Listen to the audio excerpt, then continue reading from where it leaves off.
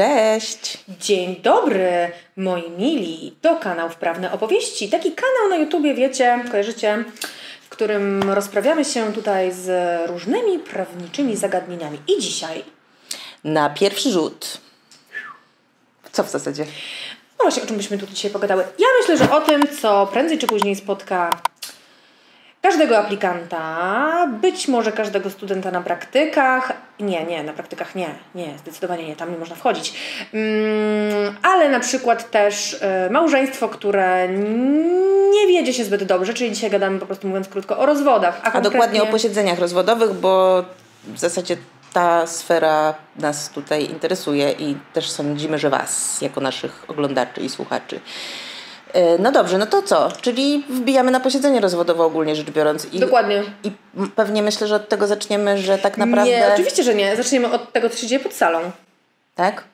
W ogóle zaczniemy może też trochę od tego, żebyście pamiętali o tym, że jak idziecie z klientem na posiedzenie rozwodowe, to bardzo często wasza rola na tym posiedzeniu jest w przypadku dogadanych szczególnie rozwodów, bo na takich się dzisiaj głównie skupimy, nie będziemy tutaj robić e, przeglądu wszystkich możliwych rozwodów świata, tylko raczej taka typowa, standardowa rozprawa rozwodowa. E, I fajnie byłoby, gdyby klient poczuł, że po coś tam jesteście na tej sali, a z racji tego, że sądy bardzo często wyczerpują e, wasze pytania tak naprawdę, bo one są bardzo standardowe, nich też dzisiaj powiemy, to e, dobrze byłoby, żeby klient, w końcu to powiem, wiedział, czego może się spodziewać, co go tam spotka, mhm. jakie pytania mogą padać, żeby potem nie miał takiego poczucia, że w zasadzie to... Po co on tego adwokata wynajął? Przecież sam sąd i on by to sobie wszystko ogarnęli. A no właśnie po to, żebyście przygotowali klienta na to posiedzenie, żeby nic go raczej nie zaskoczyło. I... Tak, żeby też wytłumaczyć klientowi tak naprawdę jaka jest Wasza rola, bo rzeczywiście, tak jak Paulina mówi, na tak, przy takich dogadanych już rozwodach to na rozprawie się nie napracujecie specjalnie najprawdopodobniej. E, no natomiast wypracowanie tego, to, to jest w zasadzie to, nad czym będziecie pracowali jeszcze przed tym posiedzeniem, które prawdopodobnie e, w takim przypadku zamknie zamknie cały temat, tak? No i dobra, słuchajcie, co się dzieje pod tą salą. No pod salą e, dzieje się z reguły sporo, bo zarówno w sytuacji, kiedy strony się dogadały, no jak nie to już w ogóle, z reguły towarzyszą temu bardzo, bardzo duże emocje. I to jest właśnie rola dla Was, żeby tego klienta uspokoić, żeby on czuł się zaopiekowany, żeby wiedział, że przecież przygotowaliście go do tego spotkania, wie jakie pytania mniej więcej za chwilę padną, więc wie, co ma na nie odpowiedzieć, bo będzie mówił zgodnie z prawdą, więc jakby tutaj nie ma e, żadnego problemu. Oczywiście te uspokajanie nie zawsze przynosi efekty. Ludzie jednak bardzo przeżywają e, rozwody i rzeczywiście pod tą salą dzieją mhm. się czasem cuda. No słuchajcie, no i znowu w tej sytuacji, którą my tutaj omawiamy, czyli jeśli y, ci ludzie ze sobą tak naprawdę już od dłuższego czasu rozmawiają, nie ustalili wszystkie rzeczy, no to też te emocje na pewno będą, będą znacznie mniejsze, bo one po prostu już gdzieś tam się rozłożyły dokładnie w czasie. I oni też już doszli do porozumienia, czyli nie ma między nimi już prawdopodobnie aż takiego zacietrzewienia i, i po prostu um, no jakiegoś, jakichś punktów zapalnych, ale też oczywiście to się może zdarzyć, bo tak, e, no, no, no dokładnie, no tak, taka jest ludzka psychika.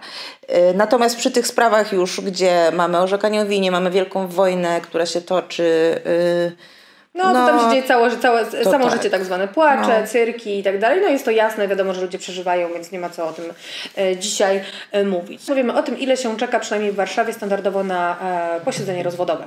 Otóż trudno nam powiedzieć, ponieważ mimo, że rozwodów mamy rzeczywiście bardzo dużo, to nie ma żadnej reguły, która tutaj pokazywałaby, że czeka się na przykład nie wiem, pół roku, rok albo nie wiem, pięć miesięcy. E, czekanie na posiedzenie rozwodowe pod tym, e, pod tym terminem, że tak powiem, Paulina ma na myśli to, ile od złożenia e, pozwu rozwodowego czekamy na um, faktyczne odbycie się terminu. Bo pierwsza rzecz, pierwsza rzecz i pierwszy sygnał, oprócz ewentualnych tam jakichś braków formalnych, które... Nie życzymy wam. Tak, nie życzymy, ale poza tym przy, przy takich um, sprawach pewnie no niekoniecznie one są, bo to Nam są się sprawy... nie zdarzają w zasadzie. No tak, bo to są standardowe sprawy, tam w zasadzie nie ma, nie zdarzają się jakieś tam nadzwyczajne rzeczy, o które sąd mógłby jeszcze chcieć poprosić, więc, więc tego nie będzie i pierwszym, co dostaniecie z sądu prawdopodobnie będzie po prostu y, zawiadomienie o wyznaczeniu terminu. Y, no i teraz właśnie pytanie na, jak, na, na jaki dzień. Istotne jest to, że rozwody co na pewno większość z Was wie, y, są rozpoznawane przez sądy okręgowe już w pierwszej instancji, tak? W związku z czym to też ma jakieś tam znaczenie. Są to sprawy, których no, jest na pewno na tle innych bardzo dużo, a w, Warszawie są tylko dwa sądy, które te sprawy e, rozpoznają. Sąd, Sąd Okręgowy w Warszawie i Sąd Okręgowy dla Warszawy Pragi. To przekłada się na to, że na te terminy po prostu No właśnie, no i co? To, no to powiedz Paulina, jak to było, y, jak to jest mniej więcej? Jest to że zupełnie losowe, czy ile najmniej czekałaś na, na termin? Nie, żartuję, powiem. E, standardowo myślę, że jest to przedział między pół roku a rok. E, oczywiście może być to rok i dwa miesiące, może być to pięć miesięcy. Natomiast ostatnio padł rekord. E, nagrywamy to dzisiaj, który jest dzisiaj? E, szósty chyba. Szósty, tak? Czekajcie. Albo siódmy. E, Tak, 6 listopada. Mm, To na dzień dzisiejszy mój rekord to jest rozwód, który złożyłam 1 września, z takich ostatnich tych. I mam wyznaczone posiedzenie na za chyba dwa tygodnie. Jakoś pod koniec listopada mam wyznaczone posiedzenie. Oczywiście nie wiem, czy ono się odbędzie z uwagi na pewne obostrzenia, Tak. które może wejdą, ale no to jest absolutny rekord. To jest tak? nie tylko rekord, ale to jest rzeczywiście sytuacja, która się nam jeszcze nie, zda, nie zdarzała, Nie bo rzeczywiście się. to pół roku to było takie minimum i tak zawsze mówiłyśmy klientom, a tutaj Tak, słuchajcie, bardzo niespodzianka. szybko. No bardzo miła. Myślę, myślę że ja, ja szczerze mówiąc uważam, że to, że to właśnie sąd pewnie już sobie zdaje sprawę, że to będzie szybki rozwód, e, plus to, że jest teraz COVID, dużo rzeczy pewnie nawet w sądach się odbywa, e, no nacisk jest na to korespondenc- korespondencyjne prowadzenie spraw i w ogóle to na pewno też jakoś tam przyspieszy. A może dobra zmiana. A może dobra zmiana sprawiła, że, że zmieniły się również terminy. Co ciekawe, ostatnio rozmawiałam z jakąś koleżanką adwokat i ona stwierdziła, że y, bankowo jest to pomyłka i na pewno sąd chciał napisać tam typu 20 tam któryś listopada 2021. 21.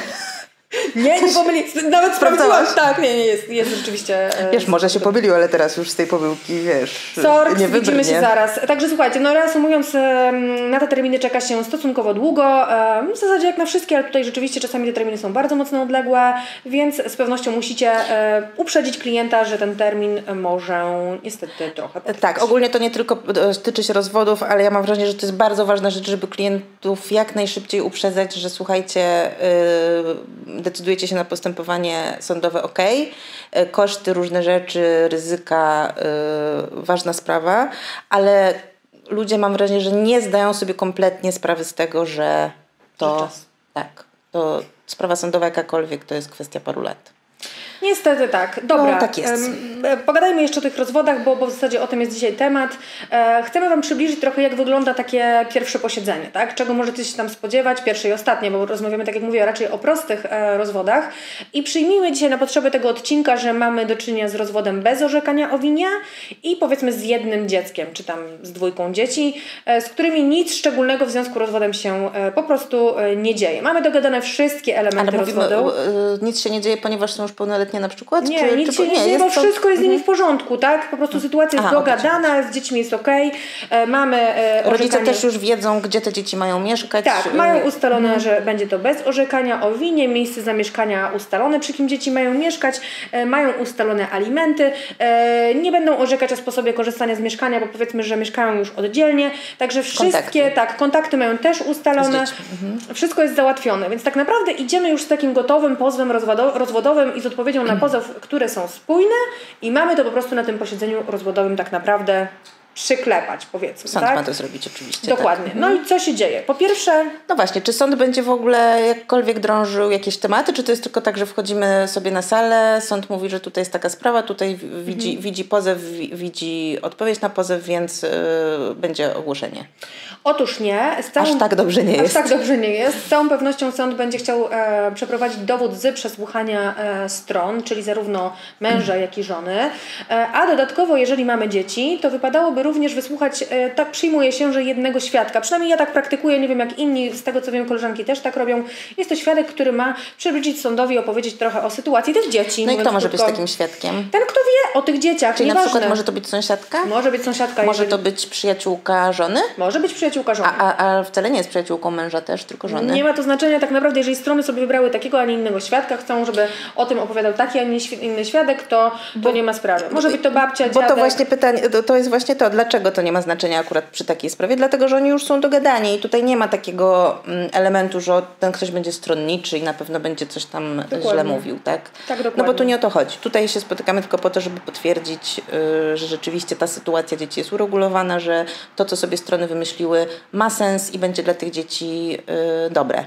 Dokładnie. I teraz tak, te dowody, o których e, powiedziałam, czyli właśnie przesłuchanie stron, może od tego zacznijmy, one będą miały wykazać to, że rzeczywiście małżeństwo się skończyło. Już przesłanki, czy sobie doczytacie, wszyscy je raczej znamy. A dodatkowo, jakie były okoliczności tego rozstania, czy rzeczywiście jest ta zgoda i chęć na to, żeby strony rozstały się e, bez orzekania o winie.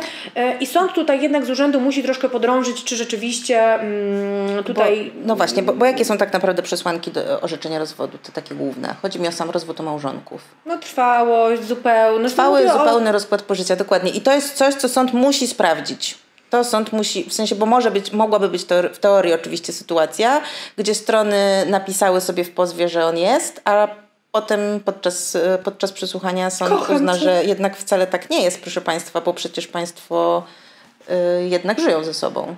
I, Dokładnie. W ogóle nie nastąpił na przykład rozkład mm, pożycia. Dokładnie. Także to są rzeczy po prostu, które sąd z urzędu musi sprawdzić i dlatego to nie jest tak, że to, co sobie napiszemy w pozwie, to sąd przyklepie po prostu bez gadania. Ale dlatego też mam takie musi... spostrzeżenie, że e, sędziowie dzielą się na takich, którzy rzeczywiście te posiedzenia prowadzą bardzo ekspresowo i bardzo mało drążą, mm. ale są też tacy, którzy rzeczywiście potrafią tamtą stronę gnieść. Ostatnio byłam na takim e, rozwodzie, mm. gdzie mm, mimo dogadania wszystkich elementów, włącznie z orzek, to akurat było orzekanie o winie w tym przypadku męża, który się na to godził.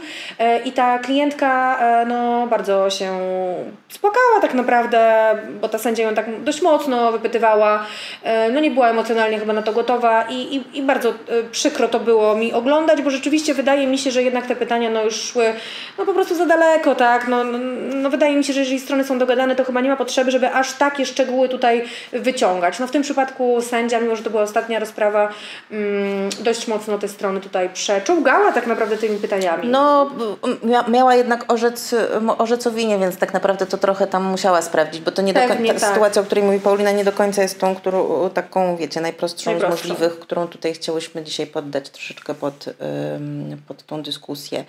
E, ale jeśli już powiedziałaś o tej kwestii, to... Mm, ta, takie moje spostrzeżenie jeszcze ale może zanim je powiem, to jeszcze powiedzmy o właśnie kwestii tego, kto na tym posiedzeniu, jak to w ogóle wygląda, mhm. co? Okej. Okay. Słuchajcie, wchodzicie sobie ze stroną, o tym, gdzie siadacie, wiecie już z naszego wcześniejszego odcinka, gdzie usiąść w sądzie. E, tam możecie dowiedzieć się, gdzie ze swoim klientem e, siadacie. To, kogo spotkacie na sali sądowej, to e, przewodniczący, czyli sędzia, który siedzi w towarzystwie dwóch ławników. Nie spotkacie tam już poza tym nikogo innego? Mam to znaczy na myśli tak, publiczność? Mm, z, y, ogólnie rzecz biorąc moglibyście, bo tak naprawdę to jest jeszcze ta kwestia, bo, bo tak, że, formalnie, żeby, żeby było zadość. Rozprawa rozwodowa jest rozprawą jawną, co oznacza, że wyrok na przykład w tej sprawie będzie jak najbardziej ogłoszony dla publiczności, będzie można na ogłoszenie wyroku przyjść. To się w zasadzie nie zdarza w praktyce, no ale teoretycznie jest taka możliwość. Natomiast cała rozprawa rozwodowa jest co do zasady rozpatrywana za zamknięciem zamkniętymi drzwiami. Ale oczywiście może być sytuacja, gdzie strony zawnioskują o to, żeby nie była za zamkniętymi drzwiami. Też z, mojej praktyki z Pauliny przypuszczam też e, e, e, absolutnie nie wynika, żeby jak, jak, kiedykolwiek te, sędzia na coś takiego pozwalał, bo tam jeszcze musi być chyba przesłanka, nie, to nie musi być wniosek, to nie tylko wniosek stron, ale też e, musi nie zagrażać tam jakiemuś moralnemu czemuś, nieważne. Ogólnie sąd jak najbardziej może o tym decydować i raczej no nie słyszałam o tym, żeby, żeby, żeby rozprawy rozwodowe były jednak otwarte. No nie. E, ale przy tych e, rozprawach za zamkniętymi drzwiami, oprócz pełnomocników, strony mogą również przyprowadzić e, jakąś tam osobę zaufania, czyli teoretycznie mogła, byłaby możliwość, żeby ktoś tam dla wsparcia z Wami poszedł na taką rozprawę, przyjaciółka. Natomiast odwołując się do praktyki utartej, to raczej to się raczej nie zdarza. Strony, tak. pełnomocnicy oraz skład sędziowski. I jeszcze jedna rzecz.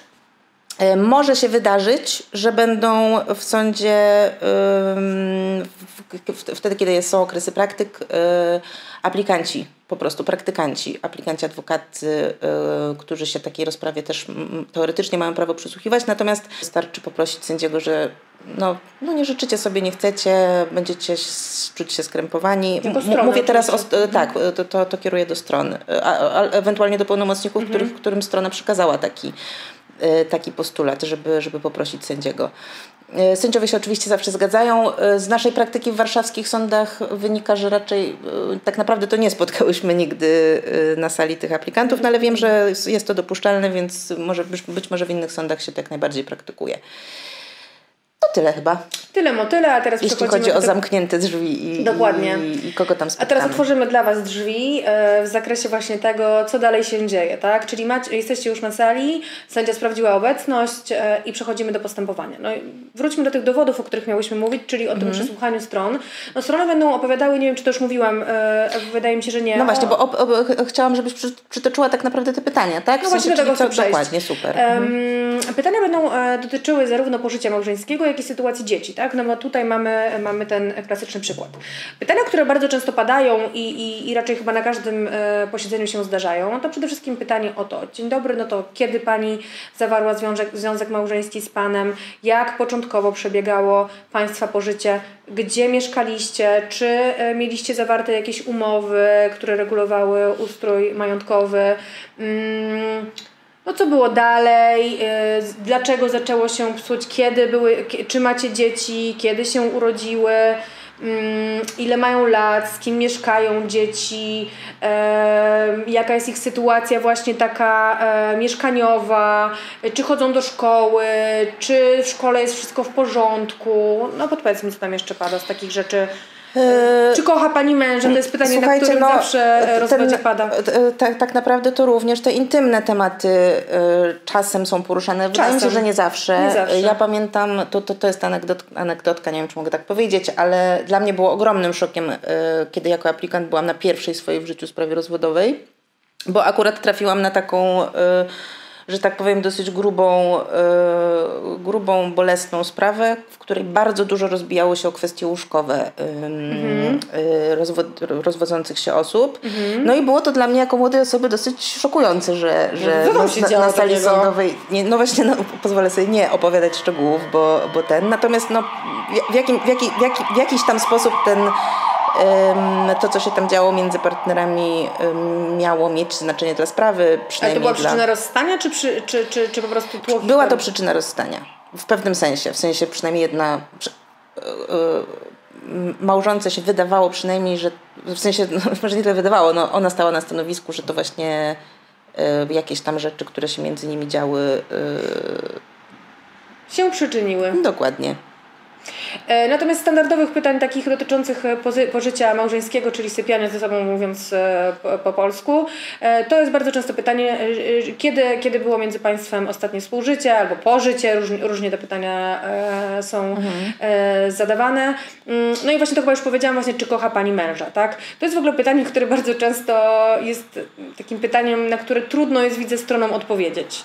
Bo wiecie, tak naprawdę, kiedy małżeństwa roz, rozchodzą się względnie zgodnie, to jest bardzo trudne pytanie, bo czasami, wiecie, no, będąc rodzicami, tam jest na tyle duży szacunek wypracowany, e, jakaś więź, jednakże, że trudno jest na to pytanie odpowiedzieć i czasami spotykam się z tym, że osobie trudno przychodzi powiedzieć nie, a czasami widzę, że w taki bardziej zawalowany sposób odpowiadają, że no, nie wiem, w sumie to nie, nie jest to już taka miłość, takie uczucie, po prostu szacunek. E, No i wiadomo, jak jest to dogadane, to ogólnie przyjemnie się tego słucha. E, Słuchajcie, no jeszcze jest sprawa alimentów, tak? Tutaj mówimy o sytuacji, kiedy alimenty są ugadane. Alimenty y, y, można w ogóle teoretycznie jak najbardziej alimenty sobie ustanowić w drodze jakiejś ugody. Nie, nie, nie, nie, nie musi to być kwestia, to, to nie musi mm, pod sprawę rozwodową podpadać. Tak się rzadko zdarza, ogólnie rzecz biorąc. Aczkolwiek ja często porozumienia rodzicielskie przedkładam. Dokładnie. No i co właśnie w sytuacji, o, o tym porozumieniu też byś mogła szczerze mówiąc dwa słowa powiedzieć. No i co w sytuacji, kiedy strony tutaj przed rozprawą, tak jak w naszej sytuacji, tu się umówiły, tak, że no to ja będę ci płaciła y, mm, tysiąc złotych miesięcznie w takim razie. Y, w kwestii dziecka, tutaj chodzi o alimenty na dziecko, tak? Tak, te pytania również się pojawiają. E, przytacza się, e, no tak poglądowo, jakie, jakie koszty wiążą się z utrzymaniem danego dziecka e, i jaka jest sytuacja zarobkowa zarówno jednej, jak i drugiej strony. I na tą okoliczność również mm, strony zeznają. Czyli to są takie proste pytania. Ile No. pani zarabia, czym się pani zajmuje, a ile pani pracuje? Dużo, mało, czasami sąd drąży, co to za praca, ale to rzadko. No bo y, znowu mówimy o sytuacji, gdzie strony się umówiły. Jeśli strony się umówiły i tutaj mówią sędzia, może ja bym chciała, to, ale to sąd mógłby to powiedzieć, nie, no proszę pana, niech pan się nie wygłupia, ma pan y, płacić żonie Nie dwa razy mi mniej albo dwa razy więcej. Nie zdarzyła mi się taka sytuacja, jednak w sytuacji, kiedy to wszystko jest zgodne, e, to, to sądy raczej aż tak bardzo tutaj e, nie drążą. Być może gdyby miały jakieś bardzo jaskrawe przypadki, mm, to może wtedy by mm, drążyły, ale akurat ja się nie spotkałam z taką, z taką sytuacją. No i teraz, czy jest szansa, że rzeczywiście na jednym posiedzeniu y, ta nasza taka hipotetyczna sprawa mhm. się mhm. rozwiąże.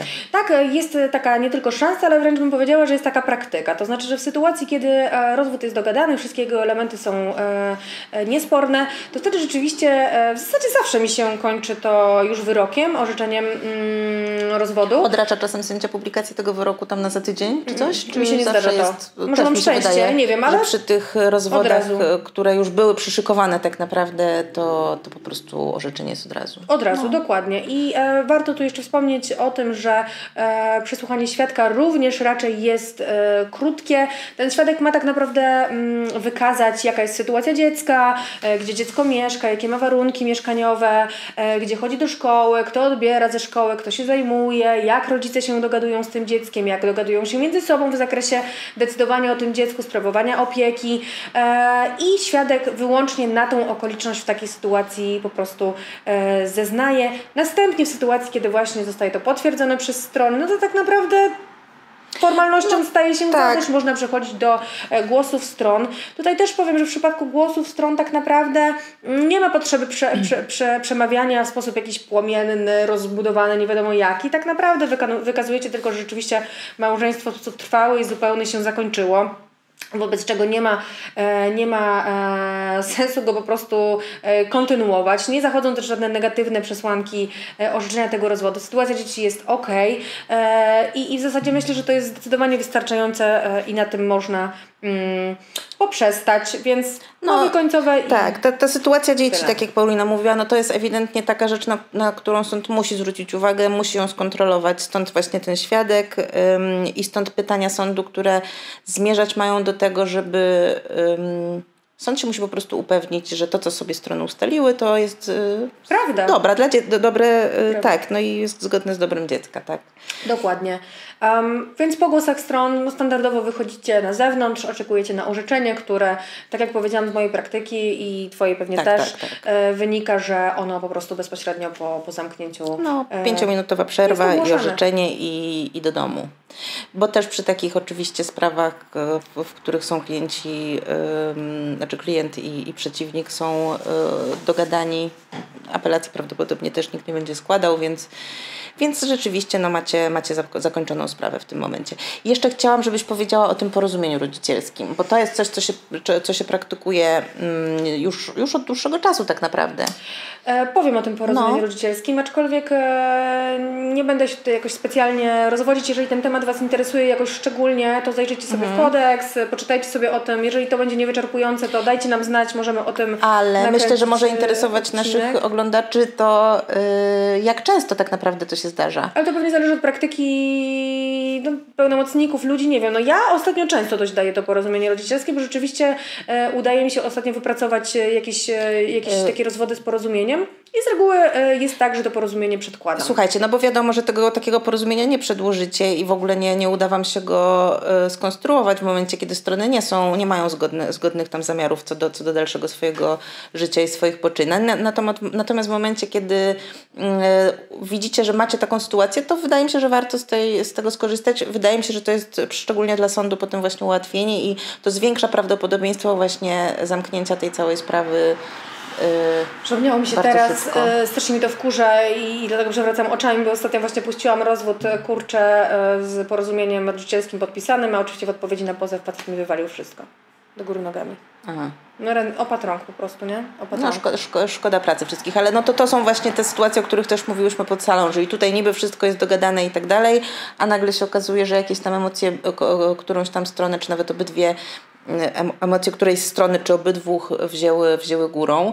Y, jeszcze jest właśnie kwestia tego, o czym warto może powiedzieć. Słuchajcie, że dokładnie to, to, to, co mówi Paulina, też to, co napiszecie w pozwie, y, zawsze, może, mo, zawsze klient albo przeciwnik może zmienić zdanie w stosunku do tego, co jest napisane w odpowiedzi na pozew, bądź też w pozwie. I zawsze może się wydarzyć, że właśnie wszystko jest dogadane, już wiecie, że zamkniecie sprawę na jednym posiedzeniu, ale nagle druga strona, albo nie daj Boże, wasz klient wstaje i mówi, ja jednak y, chcę orzekania o winie. To, to jest ja skandal, ja tutaj... Tak, dokładnie.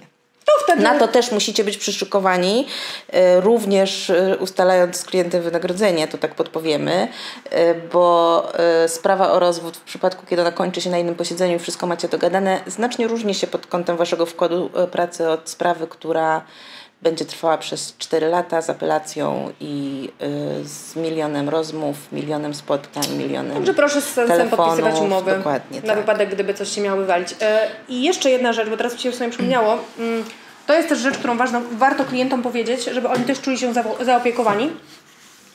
Mianowicie rzecz dotycząca mm, kosztów bo oczywistym jest, że wnosząc pozew o rozwód, wnosicie opłatę, wasz klient płaci 600 zł. Natomiast w sytuacji, kiedy wszystko macie dogadane. Mówimy rozwód, o kosztach sądowych tak, oczywiście, tak oczywiście. przepraszam, że wyjdę. Natomiast w sytuacji, kiedy macie wszystko dogadane, to wtedy y, sąd z urzędu z tych 600 zł, stronie, która uiściła te 600 zł, zwróci 300 zł.